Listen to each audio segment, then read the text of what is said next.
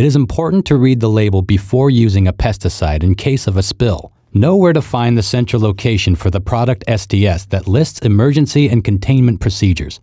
If a spill does occur, protect yourself by using the PPE listed on the product label. Always contact your employer for instructions, or in an emergency, call 911. For additional help, call the emergency contact number listed on the product label. The four C's of emergency spills are control, contain, clean up, and contact. Control the spill. Contain the spill with absorbent material such as kitty litter, sand, or clay. Keep others away from the spill area. Clean up the spill. Never hose it down as this will only contaminate a much larger area.